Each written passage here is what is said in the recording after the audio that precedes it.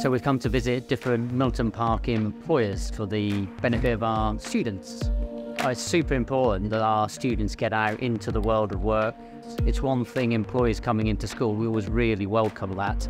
It's another thing actually coming out onto work sites, gives them a fantastic insight into their companies.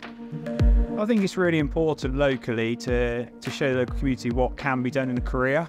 When I was younger, I wouldn't have had this chance to come out to a business and talk to a brand, talk to a CEO, and to understand what really goes on in a business.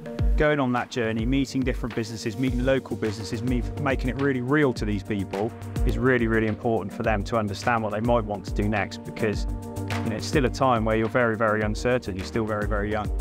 I see a lot of um, workplaces and like different experiences in. I've learned like how to use a pipette. I think that was quite interesting, and like doing the different kinds of measurements for it. I'd just like to say on behalf of Didcot Girls School a big thank you to Ahead and to the Milton Park employers. It's a really fun, enjoyable day and uh, very impressive to see some of the work that is going on at Milton Park here.